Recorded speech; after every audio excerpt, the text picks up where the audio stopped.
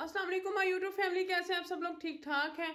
आपके लिए एक और नई रेसिपी लेके आई हूँ और उसका नाम है चना पुलाव, जो कि बच्चों को बहुत पसंद है और बड़े भी बड़े शौक से खाते हैं। तो चलते हैं हमारी रेसिपी की तरफ़। जी तो जनाब चलते हैं हम अपनी रेसिपी की तरफ़। सबसे पहले हम क्या करेंगे? एक किलो चावल लेंगे, उन चावलों को अच्छी तरीके से वॉश कर लेंगे। मैंने ज़राफ़ा चावल लिए थे।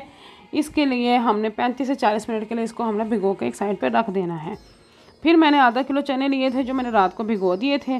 भिगोने के बाद इसको मैंने ये, मैंने इसमें एक पाव यूज़ करने हैं। मैंने इसमें आधा किलो चने नहीं यूज़ करने, आधा मैं चना चाट के लिए सेव कर लूँगी। इन आधा किलो चावल, चनों को मैंने चार गिलास पानी डाल के कुकर में दस मिनट के लिए चढ़ा दिया था आग पे, और इसकी दस मिनट के लिए सीटी बजने का हमने इसका वेट किया था। तो ये हम बड़े ज़बरदस्त किस्म के ये चने बिल्कुल तैयार हो जाएँगे। ये हमने इसको आग पे चढ़ा दिया, अब हम इसको देखते हैं कि 10 मिनट के बाद कैसे रेडी हुए हैं। ले जी जनाब 10 मिनट के बाद भी ये बिल्कुल परफेक्टली रेडी हैं। अब हमने क्या किया, उन चावल में से आधे चने और विद पानी हमने इसको ले लिया है। डेढ़ चम्मच लहसुन का पेस्ट है। एक चम्मच लाल मिर्च, एक चम्मच नमक, एक चम्मच ज़ीरा, एक चम्मच गरम मसाला, एक छोटा सा प्याज, कड़ी पत्ता तीन चार लौंगे, तीन चार काली मिर्च, ज़ीरा और एक आधा बादियाँ का छोटा सा छोटा छोटा फूल। और चावल हैं, ये सब मसाले हैं जी हमारे पुलाव के। अब हम इसकी कुकिंग की तरफ़ चलते हैं। एक हमने पतीला ले लेना है, उसमें हमने एक कप ऑयल डालना है। ऑयल डालने के बाद हमने एक जो प्याज था, हमने उसको छोटा छोटा काट के, उसको हमने फ्राई होने के लिए इसमें डाल देना है। लें जी, हमने इसमें डाल दिया, हम इसको अच्छे तरीके से इसको फ्राई करते हैं।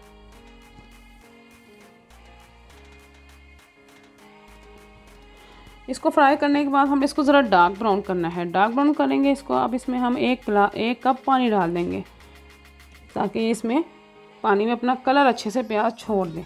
और साथ हम एक डेढ़ चम्मच लहसुन अदरक का पेस्ट था, वो भी शामिल कर देंगे। अब हम इसको अच्छे तरीके से थोड़ा सा डेढ़ दो मिनट के लिए इसको भूनेंगे।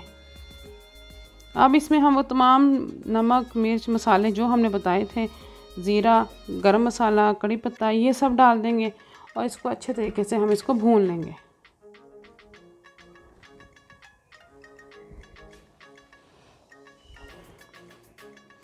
इसको हम अच्छे तरीके से इसको भून लेंगे। हमने इसको इतना भूनना है कि इसका जो ऑयल है वो ज़रा बाहर को, अपने आप को, पतीले को छोड़ने आ जाए मतलब ऑयल बाहर आ जाए। इतना हमने इसको भूनना है।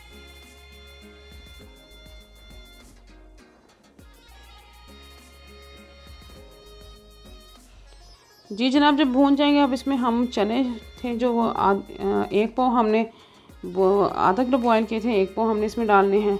आधा हमने सेव कर ली थी। अब वो बकाया जो है, इसको हम इतना भूनेंगे कि ये थोड़ा सा मसाला चनों में मिक्स हो जाए।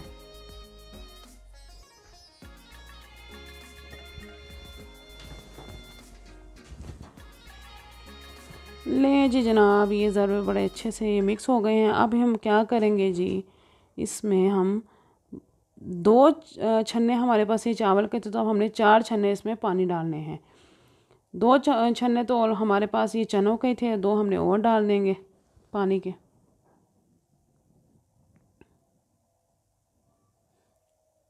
और क्योंकि ये गर्म ही था, इस वजह से हम साथ ही इसमें चावल भी शामिल कर देंगे। जो हमने भिगो के रखे हुए थे।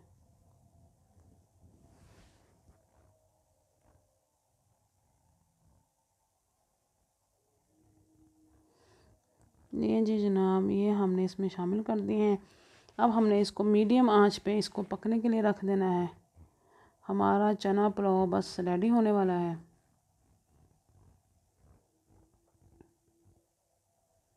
ये जी चना पुलाव बड़ा ज़बरदस्त किस्म का। ये सात मिनट के बाद इसकी शक्ल इस तरह से थी। अब हम इसको दम पे लगाने की तरफ़ बढ़ रहे हैं। ले जी, इसका पाँच मिनट के बाद और इस तरह से बिल्कुल पानी थोड़ा थोड़ा जब ये बुलबुले से नज़र आने लगे छोटे छोटे इस स्टेज पे हम इसको अब दम पे लगा देंगे। ले जी जनाब, इसको हमने दम पे लगा दिया है।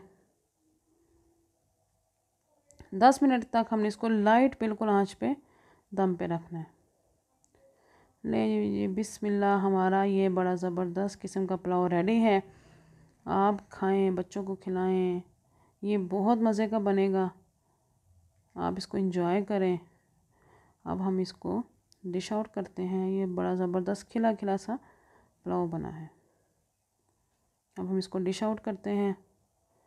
नहीं जी जनाब, साथ हमने इसके साथ आलू फुल्कियाँ भी बना ली थी और ये बहुत मज़े का चलें जी, अगर आपको मेरी रेसिपी अच्छी लगी तो इसको लाइक करें कमेंट करें शेयर करें। अल्लाह हाफिज़।